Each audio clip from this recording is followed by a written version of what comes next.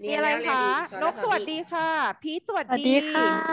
จ้าฮีโร่ผมต้องเข้า GS จริงๆใช่ไหมครับ ถ้าสอบได้เลยกัสเฮ้ย แล้วบีโซแซดไม่มาเหรอวันนี้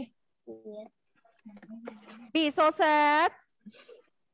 อ่าสวัสดีค่ะทุกคน สวัสดีค่ะทุกคน ใครมีกล้องเปิดกล้องมีไมค์เปิดไมค์สวัสดีค่ะ สวัสดีตอนนี้ โอ้สุดยอดมาก น้อยอิงขอบคุณมาก เดี๋ยวไม่ใช่จำชื่อโรงเรียนผิดพูดมาเป็นชื่อโรงเรียนอื่นแล้วใช่แย่เลยนะ เอออาทิตย์ที่แล้วมีอาทิตย์ที่แล้วมี มีคนตั้งชื่อ เราเราจะเล่าให้ฟังเราจะเล่าให้ฟังขำๆเขาตั้งชื่อว่าอะไรรู้ไหมนี่ยังไม่เข้าเนื้อหาเลยทุกคนเดี๋ยวหาว่าพี่พูดแบบว่าพูดเลื่อยเปื่อย คืออาทิตย์ที่แล้วเนาะเขาตั้งชื่อว่าสมมติว่าเราชื่อก้าวใช่ป่ะเขาก็ตั้งชื่อว่าเป็นอะไรรู้ไหมเป็นก้าว English เป็นแบรนด์คู่แข่ง แบบว่าเป็นแบรนด์คู่แข่งอะไรอย่างเงี้ไอริน English อะไรอย่างเงี้เออ ประมาณนั้นก็ขำๆกันไปก็แซวๆกันไปนะจ๊ะอะปลาเสือมาแล้วเนาะอะเดี๋ยวให้เดี๋ยวเราจะมีการเช็คชื่อนะจุดนี้นะคะ ว่าเฮ้ย พวกเรามาครบหรือเปล่า ถ้าไม่ครบจะมีบริการยิ่งกว่า Delivery ยิ่งกว่า Line Man ยิ่งกว่า Grab คืออะไรคะโทรไปจีบถึงที่บ้านนะจ๊ะอะเดี๋ยวตอนนี้ พี่จะอะเดี๋ยวพี่จะไลฟ์นิดนึงแล้วถ้าเกิดว่ามีเสียงแทรกอะไรอย่างเงี้ย พี่อาจจะขอดำเนินการปิดใหม่โดย โดยอะไรคะ โดยใช้มาตรการแบบบังคับเนาะเอออะทุกคนเราพูดถึงเรื่องของการเติม S นะคะ วันนี้เราจะคุยว่าน้องๆ คะในการเติม S ค่ะ ช่วยคุยกับพี่นิดนึง ช่วยสื่อสารกับพี่นิดนึงค่ะว่า เราเติม S ด้วยเหตุผลอะไรบ้างในภาษาอังกฤษทำไมเราถึงเติม S น่ากลัวอีกแล้วบ้านใครบ้านใคร ใครที่ตกห่วงไปในห่วงอวกาศ อะเดี๋ยวพี่ขอคำตอบตรงนี้นิดนึง แล้วเดี๋ยวพี่ค่อยปิดไมค์ทุกคนนะคะอะเราสวัสดีทางบ้านด้วยนะคะสำหรับทางบ้านที่อยู่กับเราตอนนี้ ทุกคนคะตอนนี้ถ้าเรารู้สึกเบื่อเบื่อเหงาๆน้องๆที่อยู่ในซูมทำไงรู้ไหมคะ ถ้าหนูแบบ ถ้าหนูแบบระวังระวังระวังเอ่อกล้อง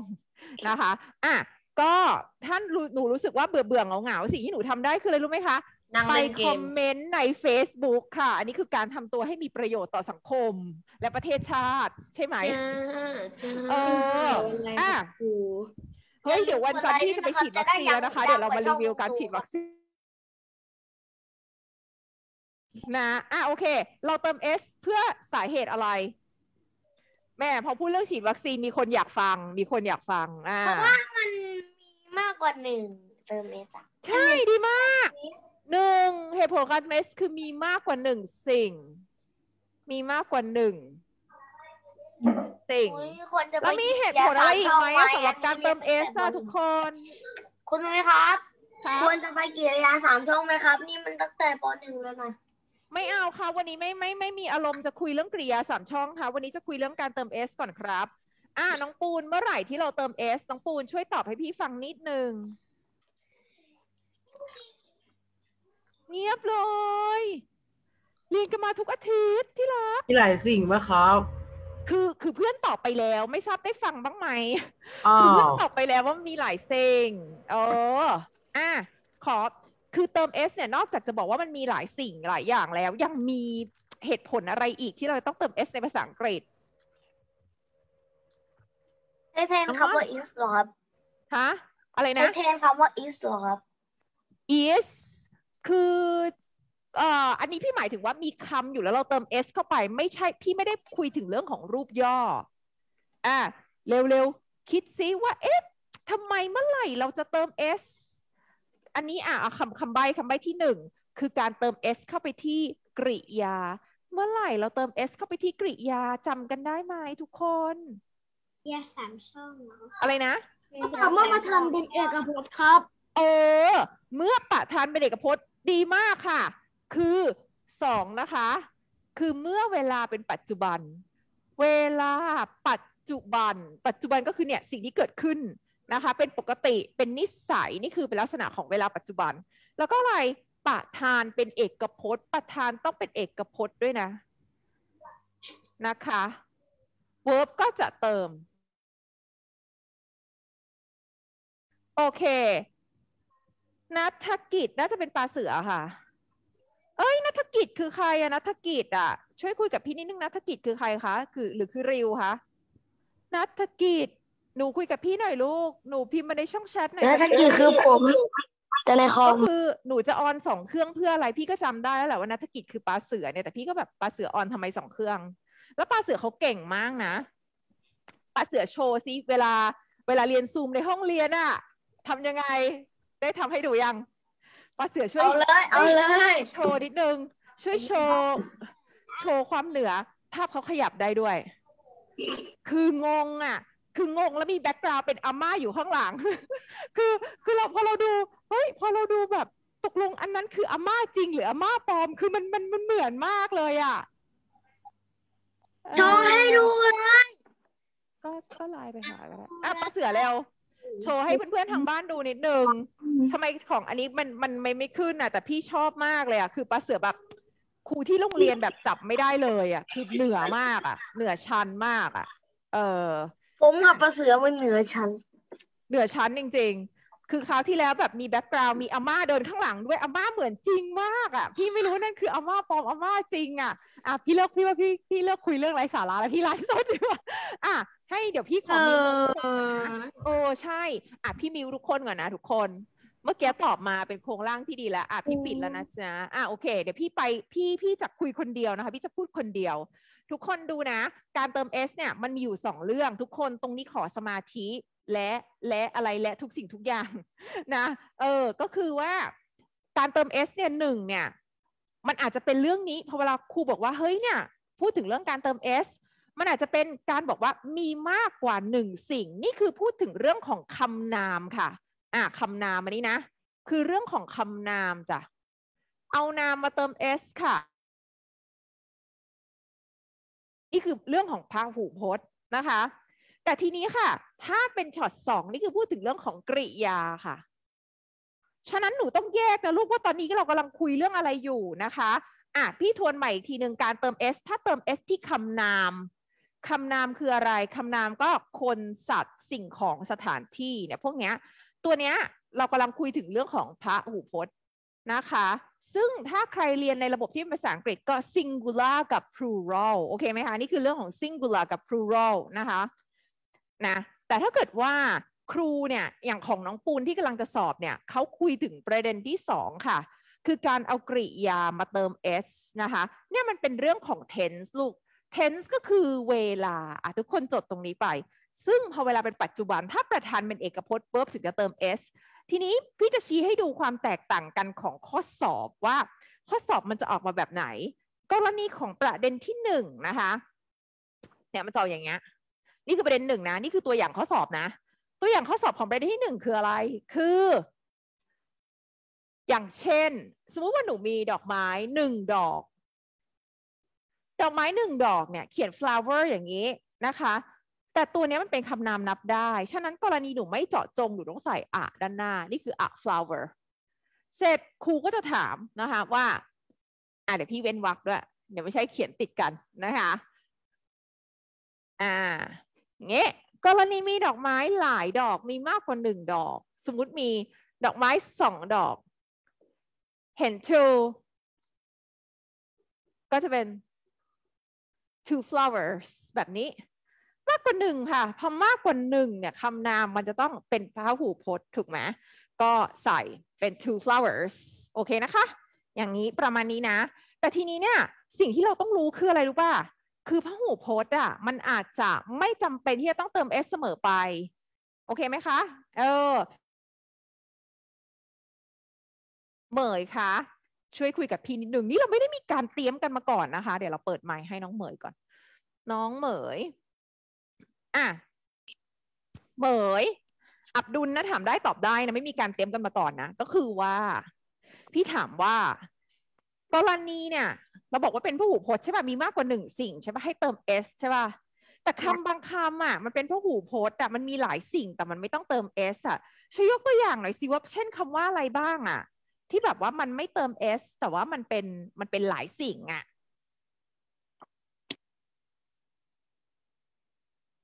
ตัวอย่างไหมตัวอย่างไหมเหมยเอาตัวอย่างไหมเฮ้ยเหมยได้ยินพี่เปล่าได้ยินไหมพี่เปล่าลูกฮัลโหล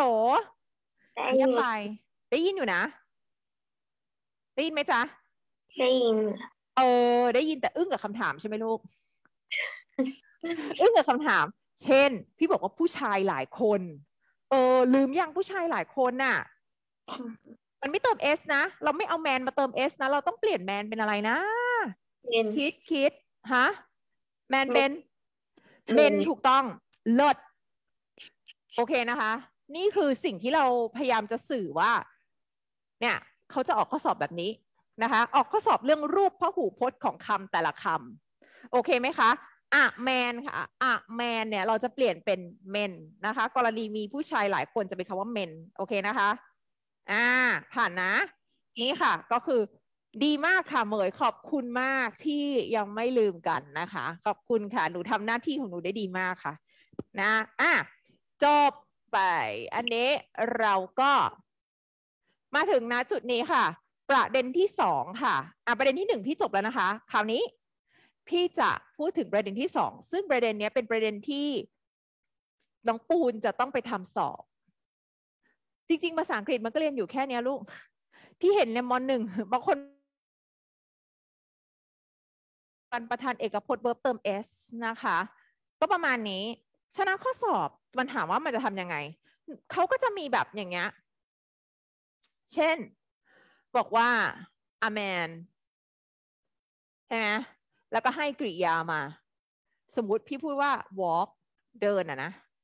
แล้วเขาก็ถามว่าตัวนี้จะเติม s หรือไม่เติม s เนี่ยชีวิตมีแค่นี้ดังนั้นเราอะเวลาเราทำเนี่ยนะณจุดของข้อสองนะคะ เราส่องด้านหน้าเลยค่ะ ว่า ประธานเป็นเอกพจน์หรือไม่ ดังนั้นโจทย์เขาก็จะจี้ถามเราว่า เฮ้ยคำว่า walk ต้องเติม s ไหมอะไหนใครช่วยตอบพี่นิดนึง ใครอยากตอบกดหนึ่ง ใครอยากตอบกดหนึ่งใครอยากตอบกดหนึ่งใครอยากตอบกดหนึ่งช่วยไปคอมเมนต์นิดนึงเออช่วยไปคอมเมนต์นิดนึงอะใครอยากตอบกดหนึ่งเมาส์มินตอบไหมเมาส์มินเมาส์มินอยากตอบนะ อะอยากตอบอยากตอบช่วยตอบนิดนึงอะตอบนิดนึงว่า ว่าไงคะว่าขไงอฟังคะคำถามอีกทีได้ไหมครับ ถามว่าอะ man walk เนี่ย walk เติม s หรือไม่เติมอ่าแมน วอล์กใช่ไหมครับ อืม ผมว่าเติมนะ เพราะอะไรถึงเติม ตัวข้างหน้าครับ มันเป็นสระอย่าเพึ่งอย่าอย่าอย่าอย่าอย่าอย่าใจเย็นใจเย็นเราพูดว่าไงประธานเอกพจน์ verb เติม s ฉะนั้นเราต้องตัดสินใจว่าอันเนี้ย เอกพจน์หรือเปล่า เอกพจน์ไหมเอกพจน์แปลว่าอะไร เอกพจน์แปลว่าอะไร ใจเย็นใจเย็นเอกพจน์แปลว่ามีกี่สิ่งมีกี่สิ่ง สู้ๆเอกพจน์แปลว่าอะไรหนึ่งหรือหลาย หลาย เอกพจน์ซิงคูลมีหนึ่างร์แปลว่า มีมีหนึ่งกี่เดียวสิ่งดูมือพี่ กี่สิ่งมึงหนึ่งเออ สติอันนี้สิ่งที่หนูต้องได้จากคลาสนี้เลยคือเอกพจน์คือการมี กี่สิ่งหนึ่งหนึ่งหนึ่งสิ่งลืมยัง ลืมยังแล้ว เออ ต้องต้องขุดมันขึ้นมาจากความทรงจำนะลูกนะ อย่าปล่อยให้มันเป็นเพียงแค่ความทรงจำนะคะ อันเนี้ยคือเป็นเอกพจน์ ดังนั้นเนี่ยกฎของเราคืออะไรประธานเป็นเอกพจน์ verb เติม verb เติม verb เติม s สรุปเติมไม่เติม เติมไม่เติมเติมไม่เติมอัลมอนด์ช่วยหน่อย เติมไหมคะเมามินกับอัลมอนด์ช่วยประสานเสียงกันเหมือนอารมณ์แบบโอเปร่าเติมหรือไม่เติม ไม่เติม เติมหรือไม่เติมมอนว่า ไม่เติมไม่เติมฮะไม่เติม ประธานเป็นเอกพจน์ อันนี้เอกพจน์ไหมเอกพจน์ไหมเอกพจน์ไหมสีทองเอกพจน์ไหมคะเครดิตก็มีเพียบเอกพจน์ไหมคะทุกคน คนเดียวหรือหลายคนอันนี้คนเดียวหรือหลายคน ผู้ชายคนเดียวหรือหลายคคนนลูกเดียว คนเดียวดังนั้น คนเดียวเป็นเอกพจน์ คนเดียว verb เติม s ไหมคะคำตอบคือ ไม่เติมตื่นเต้นมากต้องเติมหรือไม่เติมอะใครว่าเติมกดหนึ่งใครว่าไม่เติมกดสองแล้วเรามาตัดสินกันแบบประชาธิปไตยหรือเปล่า เรื่องบางเรื่องใช้ประชาธิปไตยตัดสินไม่ได้นะลูกมันมีความถูกต้องบอกอยู่อะตัดสินแบบนี้ อะไรนะฮะถูกต้องตัดสินแบบประชาธิปไตย มันไม่ได้ไงคือเรื่องการบางเรื่องมันไม่ใช้เล่นประชาธิปไตยตัดสินไม่ได้ไงเออนะ เติมไม่เติม คำตอบคือ นี่ไงมีคนเดียวไงมีคนเดียวเห็นไหมปะทันเป็นเอกพจน์ verb เติม s ก็จะเป็น walk อยู่แบบนี้ โอเคไหมคะทุกคนใครงงตรงนี้บ้าง ใครงงตรงนี้กดศูนย์รัวๆ เดี๋ยวเรามี exercise ให้ทำแต่หนูต้องคือสรุปอะนะคะ ในการทำตรงเนี้ยนะคะ พี่เน้นไปที่น้องปูนนะลูก หนูต้องแบบมองไปที่ประธาน เฮ้ย มันมีคนเดียวหรือมีหลายคน มันมีสิ่งเดียวประธานเป็นเอกพจน์ verb เติม s นั่นเอง ตรงนี้ต้องใช้สติในการมองเข้าไปมองมองมองและมอง และขีดตรงนี้อ๋อมีคนเดียวอะอะแมนเอาหนึ่งคนนี่หนึ่งคน walk เติม s แต่ถ้าเกิดเป็นเมนอย่างงี้เฮ้ย นี่กี่คน นี่กี่คนหนึ่งหรือหลายหนึ่งหรือหลายอชูนิ้วขึ้นมาหนึ่งหรือหลายคำตอบคือ เออ หลายคนนะ อ่า มีคนตอบมาในช่องแชทบอกหลายคนถ้าหลายคนอย่างเงี้ย เห็นไหมมันจะเป็นอย่างนี้ อะชี้ให้ดู ฉะนั้นหนูต้องเห็นถึงความแตกต่างนะลูกนะคะอะดูอย่างนี้ค่ะ มันจะชัดมากกาดอกจันไปหนึ่งร้อยดอกตรงนี้ต้องเอาให้ได้นะคะ พ่อแม่ถามว่าทำอะไรอยู่บอกว่ากาดอกจันนะคะอะ man walks นะคะ นี่คือนี่อะ นี่อะ man walks แต่ men เนี่ย walk อย่างนี้ ผ่านปะเดี๋ยวตรงเนี้ยพี่ต้องมีแบบฝึกหัดแล้วเพราะพี่ว่าหลายคนยังแบบ คือสรุปนะคะ ดูเลยว่าคนเดียวหรือหลายคนนะคะ ประมาณนี้นี่คือจุดสำคัญของเรา อ่าน้องนกโอเคไหมลูก น้องนกงงไหมฮะน้องนก อ่าน้องนกว่าไง แสดงความคิดเห็นได้ ฟ้าใสแสดงความคิดเห็นได้เลยลูก อ่าพี่ฟ้าก็หายไปอ่าเดี๋ยวเดี๋ยวหาชื่อก่อน อ่านกแสดงความคิดเห็นได้งงไหมคะนกงงไหมคะงงค่ะ อะใจเย็นๆนะดูนะคะ งงประเด็นที่หนึ่งหรือประเด็นที่สองคะประเด็นที่หนึ่งค่ะ ประเด็นที่หนึ่งใช่ป่ะแต่ใช่แต่ประเด็นที่สองไม่งงนะ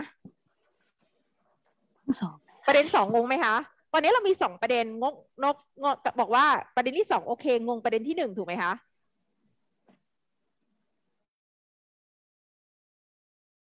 โอเค อะ ประเด็นสองดูนะคะ ประเด็นสองเนี่ยเวลาเราแต่งประโยคค่ะ พี่ยกตัวอย่างนะคะสุยบอกว่า เธอกินแอปเปิลเธอผู้หญิงนะคะ อันเนี้ยคือพี่ระบุว่ามันเป็นความจริงนะ มันเป็นสิ่งที่เกิดขึ้นเป็นปกติเป็นปัจจุบัน กินภาษาอังกฤษว่าอะไรคะนก eat eat ค่ะ โอเค อย่างนี้นะคะ she eat สมมติพี่บอกว่ากินแอปเปิลอะพี่ให้กินผลเดียวแล้วกันเป็น an apple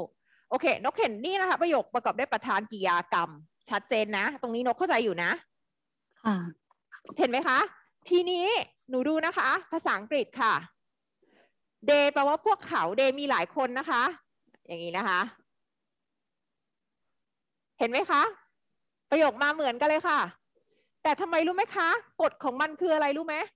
คือกฎของมันคือถ้าประธานเป็นเอกพจน์ verb จะเติม s ฉะนั้นเรามองมาที่ตรงนี้ค่ะ อันนี้กี่คน อันนี้กี่คนเอ่ย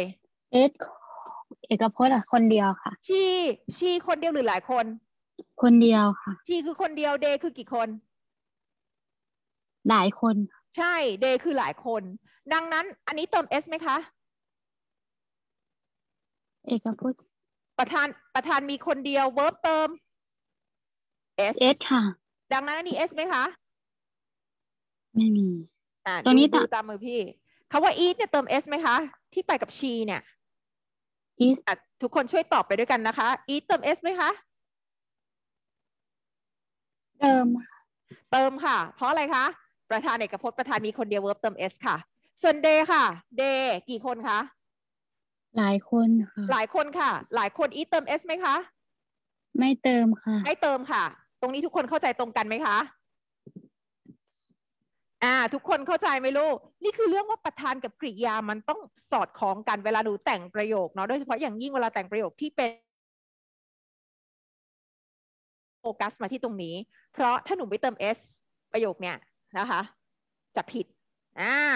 ฉะนั้นเนี่ยเดี๋ยวพี่จะมี exercise ให้พี่จะเขียน exercise ให้ทั้งหมดประมาณ 10 ข้อแล้วให้ทุกคนตอบมาในช่องแชทนะคะ นี่เป็น exercise ที่แบบเบามากถามแค่ว่า verb เนี่ยเติม s หรือไม่เติม ฉะนั้นเนี่ยการที่กริยาจะเติม s หรือไม่เติมเนี่ยเราต้องสะบัดหน้าหันซ้ายค่ะ มองไปที่ประธานค่ะทุกคนผ่านไหมคะ ตรงนี้อะนกเข้าใจไหมคะตรงนี้ เข้าใจค่ะ เข้าใจนะอะเริ่มพอเข้าใจแล้วนะ อะมาเบียพี่ถามคนอื่นเซปลาเสือไม่น่าจะไอรินเข้าใจไหมลูก เข้าใจนะ fresh ได้ไหมลูกตรงนี้ น้อง fresh freshy เข้าใจไหมคะ freshy เข้าใจไหมคะตรงนี้ fresh พอเข้าใจไหมลูกถ้าไม่เข้าใจบอกพี่ได้เลย พี่จะทำการปฐมพยาบาล ตั้งแต่ณจุดนี้เลย เพราะว่านี้เป็นสิ่งที่มีความสำคัญมาก เรื่องบางเรื่องเป็นเรื่องที่เขาเรียกว่าอะไรล่ะ เราจะข้ามมันไปไม่ได้ เพราะมันเป็นเรื่องสำคัญ เรื่องบางเรื่องยังพอยังพอจะข้ามไปได้บ้าง แต่เรื่องนี้ไม่ได้เลยเฟรชพอเข้าใจไหมลูกเข้าใจไหมลูก งงไหมฮะ ได้อยู่นะ ไม่งงนะ โอเคอะเดี๋ยวเราก็จะบายบายทางบ้านไปก่อนเนาะแล้วเดี๋ยวพี่จะเขียนแบบฝึกหัดให้ แล้วก็ลองทำมาดูลองทำแค่ สมมุติพี่ทำพี่ให้ทำสิบข้อนะคะพวกหนูทำมาแค่สามข้อแรกก่อน ถ้าสามข้อแรกถูกค่อยไปต่อได้ พี่จะเน้นแค่ทดสอบว่า สมมุติว่า exercise สิบข้อ หนูไม่ต้องทำมาครบนะลูกสิบข้อเพราะอะไรคะ ถ้าสามข้อแรกผิดนะคะ ไม่มีประโยชน์ที่จะทำต่อไป ต้องเอาให้เข้าใจในสามข้อแรกก่อน พอสามข้อแรกทุกคนส่งมาแล้วมันถูกปุ๊บ ถึงจะมีสิทธิ์ได้ไปต่อ เคยได้ยินไหมคุณได้ไปต่อเดี๋ยวนี้นะคุณจะได้ไปต่อก็ต่อเมื่อคุณทำสามข้อแรกถูกนะคะ โอเค เดี๋ยวพี่ขึ้นกระดานให้นะคะ แล้วก็ตอนเนี้ยพี่ให้โอกาสค่ะ ถือว่าเป็นการพักไปเลยในตัวดีไหมฮะ ดีไหมฮะ เปิดไมค์ให้น้องๆหน่อยอะ เปิดไมค์หน่อย ดีค่ะ ดีค่ะ ดีอะไรคะดีอย่ากรีดจัร้องค่ะ คุยกับพี่คุยด้วยด้วยเสียงธรรมดาก็ได้ค่ะไม่ต้องกรีดร้องค่ะ บ้านใครบ้านใครตกหลุมอากาศอยู่ บ้านปลาเสือเนี่ยครับครูโอเค อะ เดี๋ยวเราบายบายทางบ้านไว้เท่านี้ก่อนเนาะแล้วเดี๋ยวเราคุยกันในคลาสต่อนะจ๊ะห้ามออกห้ามออกนะคะ